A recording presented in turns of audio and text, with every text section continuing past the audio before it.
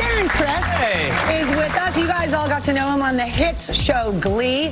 Now he's playing a very different role in American Crime Stories, The Assassination of Gianni Versace. Congratulations on this. Thank you. Just watched it. Oh, man. Thank you.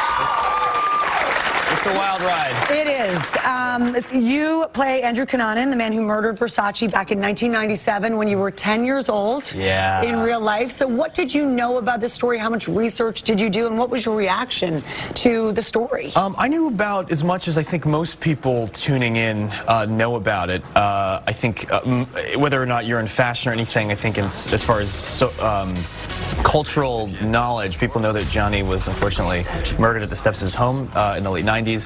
Uh, I vaguely remember knowing that it was a, a young man Yeah. who was half Filipino, which was interesting to me as a half Filipino kid. So that was that was about it. So uh, that's the, just the tip of the iceberg. I mean, we have nine episodes to cover something that, you know, the assassination of Gianni Versace happens within the first several minutes of our show, and then we have nine episodes. So there's a lot more going on. It's than I think really interesting the way he put it together. Yeah. I don't want to give too much away. Um, the series creator, Ryan Murphy, um, is also the creator of Glee. Um, he said, um, uh, you might know this, you were his first and only choice for this role. And he also said that he knew you were capable of great darkness. Well, because I'm a dark dude.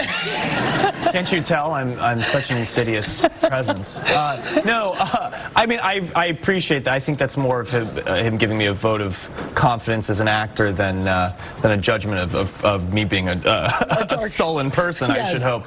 But uh, no, I appreciate his, his faith in me. I mean, you know, I, I joke about this, and I don't mean this with any indignant, uh, I'm not trying to be indignant, but actors act. Like, we're actors. Uh, and so hopefully we are capable of great. Of a darkness and great light that is the sort of nature of our jobs. Yep. So um, I'm glad that he uh, That he had faith in me noticed. To do it. I'm glad that he noticed. Yes. Yes, yes, and I hope Uh, that I was up. That I was up to, to par. And, and you're and you're surrounded by other actors who really know how to do their craft. Penelope Cruz, uh, Edgar Ramirez as Versace Yeah. is is is blew us away. I mean, we've got some good actors on this show. What can I say? It's, it was a, it was like playing with the big leagues. I feel like I really made varsity, being around all these incredible folks. And how about uh, Ricky Martin? Ricky Martin, yeah, let's not forget a- how good an actor amazing he is, role, And yeah. I understand that there was some perks to working with Ricky. He would have you over to his house in Miami for Yeah. major for major sing-alongs. Uh, yeah, and in Los Angeles, he was very kind to have us all kind of get together and have uh, time because we, I, I wouldn't spend any time with them on set.